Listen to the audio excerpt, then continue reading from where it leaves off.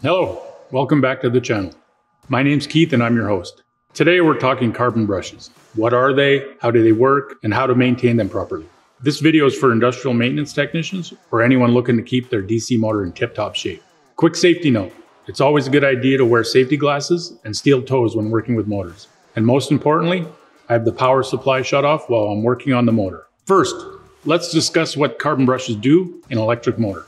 The brushed DC motor uses carbon brushes to bring the current to the rotor to create the magnetic field that causes the motor to spin.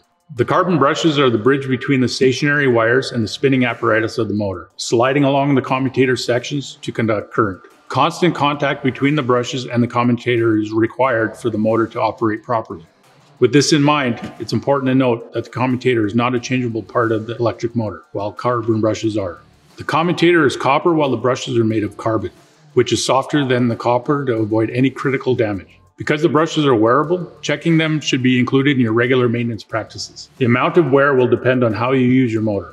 So, how often should you check the brushes on your DC motor? Every three to six months is ideal. The key is to monitor the health and the length of the carbon brushes so you know when it's time to change them out and avoid unexpected downtime. There are a few symptoms you could run into if you don't replace your brushes before they wear out. The motor will experience performance issues, especially at startup or high RPMs. You could smell a burning smell, or you may experience inconsistent power or no power at all. If inspecting your DC motor brush wear on a regular basis, there are a few things to look for on the brush itself. Brushes should be replaced if they're only a quarter of their original length or one quarter inch. You'll also want to inspect the brushes for signs of burning, crumbling, or breakage, which all indicate a replacement is needed. And finally, check the condition of the lead and spring or clip holding the brush into place in the motor. Now we're ready to check the carbon brushes on my 90 volt DC motor. This motor is already removed from its power source and the equipment it's powered. In many cases, you can check your DC motor's brushes while the motor is still in place, but removing it from the equipment gives you more room to work and see any possible issues. Step one, ensure your motor is disconnected from any power source. Step two, remove the carbon brush covers. You may even need to remove the enclosure to find the brushes. Check your motor's manual for help finding their location. Step 3. Remove the brush's electrical connection from the motor. Step 4. Remove the clips or springs holding the brushes in place. Step 5. Remove the carbon brush, making sure to note the direction of the beveled edge.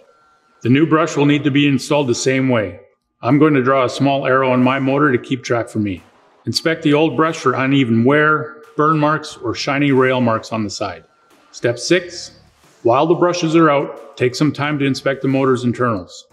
Check the cavity for contaminants like dust, oil, water, or carbon buildup from the worn brushes. This buildup can cause an arc that'll ground out the motor that can be easily vacuumed with some help from low PSI compressed air. Inspect the commutator as well. Wear marks like threading, grooving, and copper drag mean that the old brushes were of poor quality or contaminated with small pieces of copper from the commutator surface. Signs of flashover mean that the carbon brushes have been short circuited. This can happen because of contamination as well. Any damage on the commutator will need to be repaired by a motor repair shop where they can machine and undercut the sections, or you may be better off replacing the whole motor. Step 7. Install the new DC motor brush, keeping the direction of the bevel in mind. When the rotor spins in one direction, the brushes smoothly drag across the surface. However, when the rotor spins in the other direction, the brushes are pushed across the commutator sections. This will at minimum make noise until the brush is properly seated. Step 8. Fasten clips or springs. If your motor is equipped with springs, after installing the spring, pull back on the brush and then release.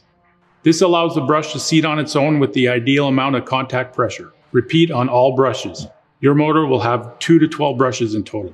Once you're done checking or replacing all your motor's carbon brushes, Operate your motor at no load to test it. You can use some seating stone to help the brushes seat in quicker. This will allow the brushes to fully seat before running under load. To seat your carbon brushes means to have as much contact between the edge of the brush and the commutator.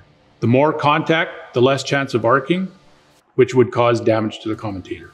So, next time you perform your scheduled maintenance on your brushed DC electric motor, make sure you add checking brushes to your list. Learning to inspect, maintain and replace the brushes and many other elements of your electric motor will help it last a long time and save you from unplanned downtime. If you have anything to add, have any questions, or have a suggestion for another topic for me to cover, leave me a comment below. Make sure you like this video and hit the subscribe button so you don't miss out on future videos. Next, we'll cover how to lubricate your electric motor. I'm Keith with eMotors Direct, your source for industrial motors, gear reducers, controllers, and accessories across Canada. Thanks for watching. See you next time.